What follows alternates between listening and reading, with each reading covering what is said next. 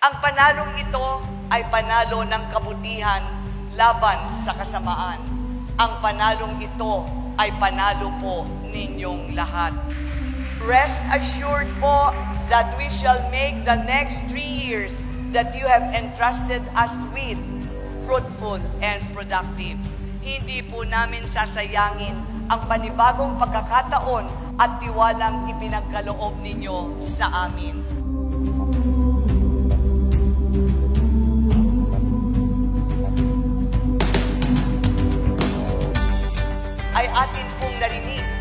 Napakalakas at napaka, nagkakaisang tinig ng mga Tarlakenyong patuloy na lumalaban, tumatayo at naninindigan para sa kabutihan.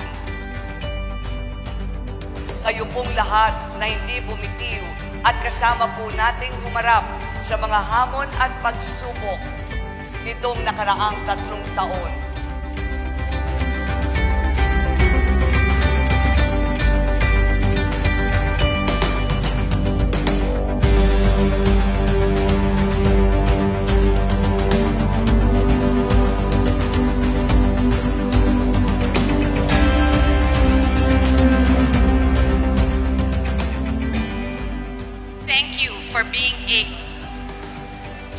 partner na kasama para talagang may angat natin ang ating probinsya, ang ating nagkakaisang lungsod na sabi ko ito ang nag-iisang perla sa buong probinsya. And um, there's still a lot of hard work.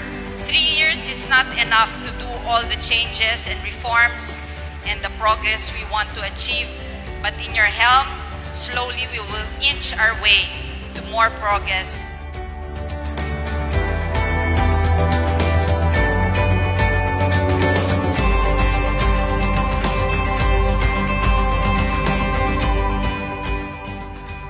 masasabi ko lang po, Tarlac City is in very good hands with your leaders here po sa buong Tarlac po.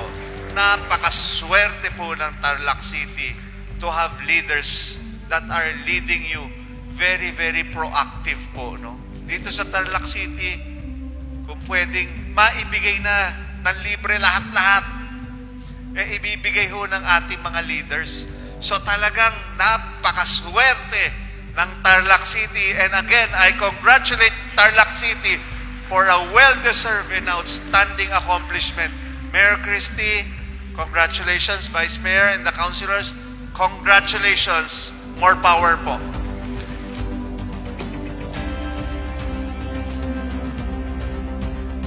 Maglilingkod ako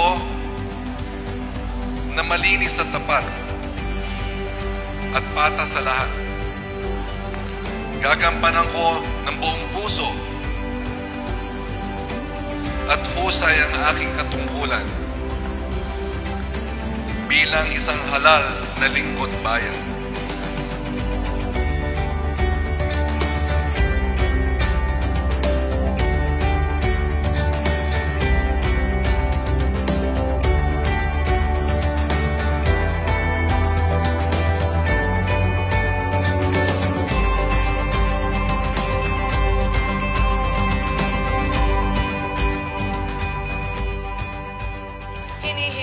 Po kayong lahat na sana sa ikalawang yugto ng ating kasaysayan, ala na pong kakawani, ala na pong magpatumpik-tumpik pa.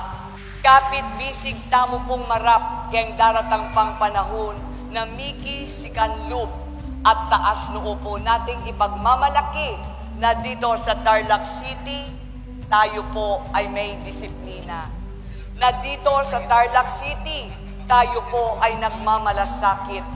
At dito po sa Tarlac City, tayo ay nagtutulungan. Sabay-sabay po nating isigaw at ipagmalaki ang ating city slogan, magkaisa, bawat oras, sama-sama.